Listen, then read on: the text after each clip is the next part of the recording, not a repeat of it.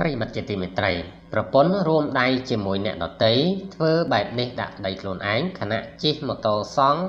022ចូលចំការបាទបាទនៅថ្ងៃទី6ខែតុលាឆ្នាំ2022មកកម្លាំងសមត្ថកិច្ចជំនាញខេត្តកោះកុងបានឃាត់ខ្លួនជនសង្ស័យ2នាក់ម្នាក់ជាប្រពន្ធជនរងគ្រោះបាទពាក់ព័ន្ធនឹងករណីប្លន់សម្លាប់បរិសម្នាក់ឈ្មោះហុកសាបាទហៅម៉ៅ នៅចំណុចចិត្តវត្តខ្សាច់សបាទស្ថិតក្នុងភូមិអូជ្រៅឃុំបឹងព្រាវស្រុកស្រែអំបិលខេត្តកោះកុងកាលពីថ្ងៃទី5ខែតុលាឆ្នាំ2022បាទលោកវរៈស្នេហ៍ឯកឆឹងវាសនា បានឲ្យដឹងថាតាមការបំភ្លឺរបស់សាក្សី2នាក់បាទកម្លាំងជំនាញបានធ្វើការស្រាវជ្រាវនិងកំណត់មុខសញ្ញាឈានទៅដល់ការឃាត់ខ្លួនជនសង្ស័យ2នាក់បាទទី1ឈ្មោះ សុកសរិនបាទភេទប្រុសអាយុ22ឆ្នាំជនជាតិខ្មែរមុខរបរចាំចំការ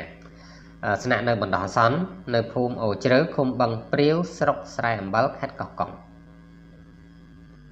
បាទទី2គឺឈ្មោះតែមសវណ្ណបាទភេទស្រីអាយុ44ឆ្នាំជនជាតិខ្មែរមុខរបរចាំចំការបាទស្នាក់នៅបណ្ដោះអាសន្ននៅភូមិអូជ្រៅឃុំបឹងព្រាវស្រុកស្រែអំបិលខេត្តកោះកុងបាទជាប្រពន្ធជនរងគ្រោះ បាទយ៉ាងណាសមត្ថកិច្ចមិនបានបញ្ជាក់ពីទំនាក់ទំនងប្រព័ន្ធរបស់ជនរងគ្រោះនិងបរិសុទ្ធជាជនសង្ស័យបាទខាងលើថាជាអ្វីនឹងគ្នានៅឡើយទេបាទបាទវត្ថុតាងដែលបាទដែលហូតដកហូតបានគឺមានម៉ូតូចំនួន3គ្រឿង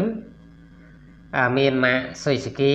ពណ៌ក្រហមបាទស្លាកលេខភ្នំពេញ 1E 7117បាទទី2គឺម៉ាកអឺស្កូពីពណ៌ក្រហម បាទស្លាកលេខកំពង់ចាម IZ 0003បាទទី3គឺម៉ាក Dream 125ពណ៌ខ្មៅស៊េរីឆ្នាំ2022ស្លាកលេខកម្ពុជា IT 6423បាទទូរស័ព្ទចំនួន3គ្រឿងទី1គឺម៉ាក Samsung ពណ៌ខ្មៅ1គ្រឿងទី2គឺម៉ាក Redmi បាទពណ៌ខៀវមួយគ្រឿងទី3គឺម៉ាក Oppo បាទពណ៌ខ្មៅមួយគ្រឿងបាទលោកវិរៈស្នេហ៍ឯកនិងឆឹងវាសនាបាទស្នងការខេត្តកោះកុងបានបញ្ជាក់ថាបច្ចុប្បន្ន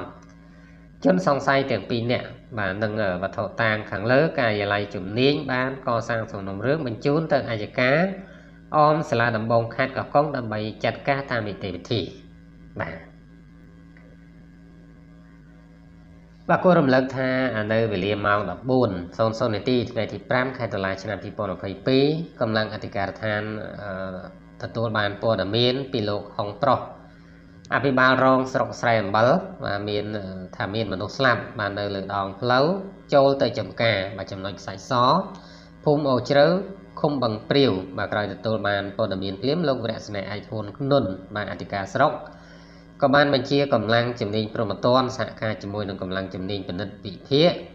កម្លាំងប៉ុស្តិ៍រដ្ឋបាលបឹងព្រាវនិងគ្រូពេទ្យបង្អែកស្រុកបាទក្នុងកិច្ចប្រតិបត្តិការនៅជុំវិញកន្លែងកាត់ហេតុបាទកម្លាំងប៉ុស្តិ៍ក៏បានធ្វើការពាត់ជុំវិញកន្លែងកាត់ហេតុនៃសាកសពបាទបានឃើញថាសាកសពមានឈ្មោះហុកសាងបាទហៅម៉ៅ ភេទប្រុសអាយុ64ឆ្នាំមុខរបរជាអ្នកចាំចំការបាទស្បែកជើងមួយគូរបស់ជនរងគ្រោះបាទតាមការពិនិត្យសាកសពបាទមានស្នាមបែកផុងលលាខួរក្បាលផុងលលាក្បាលបាទចំនួនមួយកន្លែង ខាងក្រោយបាទគឺបែកស្ពាល់ខាងឆ្វេងមួយកន្លែង និងរយៈដៃឆ្វេងប្រវែង5សង់ទីម៉ែត្រជម្រៅ0.5សង់ទីម៉ែត្រ បាទតាមការសន្និដ្ឋានជាការប្លន់យកម៉ូតូនិងសម្ភារៈដោយវាយមួយវត្ថុរឹងបាទវាយដល់នឹងវត្ថុរឹងបាទបាទសម្ភារៈដែលបាត់បង់រួមមានម៉ូតូមួយគ្រឿង Honda Dream Song បាទសេ